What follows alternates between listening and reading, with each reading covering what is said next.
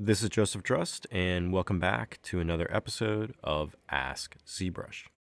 So we had a question sent in asking how can I create an insert mesh brush that contains UV coordinates? So this is a pretty good question. So to start off, I just have ZBrush loaded up, and I have a tool opened here that contains three subtools. And each of these subtools here has UV mapping and a texture map applied. If I scroll down here to the texture map, you can see I have a texture map applied.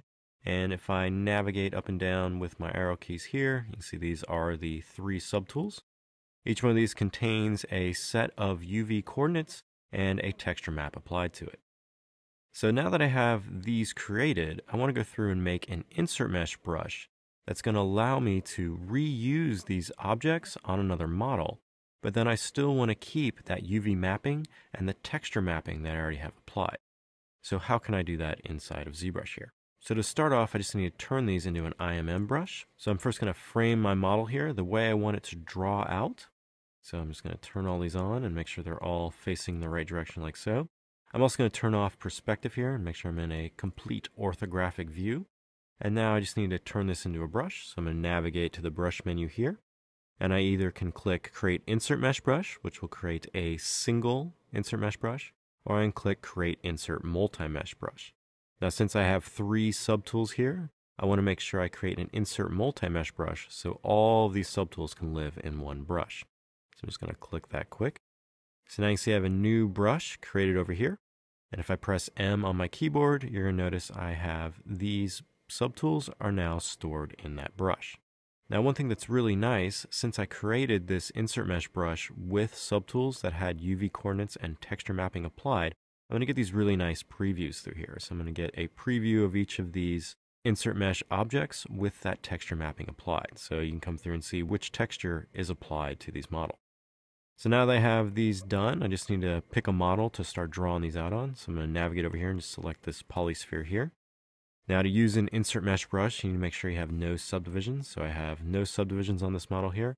And now I can just simply drag out.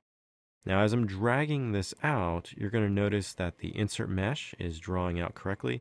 But as you can see, I'm losing that texture information that I had applied. So you may think, well, at this stage, I may just need to apply texture to my model. So if I navigate here to the texture map tab and then say select that texture map that was applied to those subtools, you're going to get a little error that's going to pop up and it's going to tell you you do not have texture mapping for this model. So how can I fix this?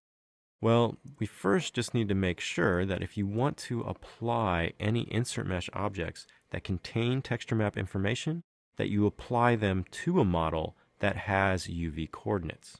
So this polysphere right now, if I open up this UV map tab here, does not have any UVs associated with it. So I just need to create a quick UV map for this model. Then I'll be able to apply that insert mesh that has those UV coordinates, and they're going to hold when I drag them out. So to create UVs for this model here, you could come and use the Z plugin UV master, or you could come over here to create and click on either PUV tiles or AUV tiles. Now, since this is just a placement mesh for me to drag these insert mesh objects on, I'm not really concerned about having a perfect UV mapped object at this stage, so I'm just going to click this PUV tiles. Now, after you click this, you're going to notice that this delete UV button has now become enabled, which means I have UVs on this model. And now I can come through and say, go to the texture map tab here, and then select that texture map I had applied to those original three subtools. Now, after this texture map's applied, you're going to notice that the UV coordinates are a little bit of a mess, and this is just because I used that PUV tiles over here. But since I'm going to hide this object later, it's not really a issue. So now I have a mesh with UV coordinates applied and the same texture map applied, I can now start using these insert mesh brushes. So I can say select this rivet here and drag it out. And you're going to notice that the mesh is going to drag out exactly how it looked before I created the IMM brush. So I can come through and switch to these other models here and keep dragging these out. And as long as you have the same texture map linked to this model, your UVs and your texture is going to show up correctly on these insert mesh brushes. So you can come through and keep dragging these out like so. Now that you have these kind of drawn out, you probably don't want the sphere anymore. So you can hold Control and Shift and click the sphere, and then hold Control and Shift and click it again and that's going to hide that sphere completely. And now I can navigate to the Geometry tab here, go to Modify Topology, and do a Delete Hidden. So now that sphere is entirely gone. I can apply my dynamic subdivisions back, so now I'm getting the exact look that I had for the original subtools.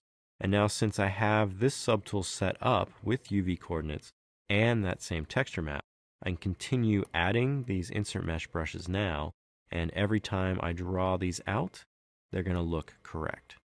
So this is the process to come through and use insert mesh brushes that contain UVs on other parts of your model.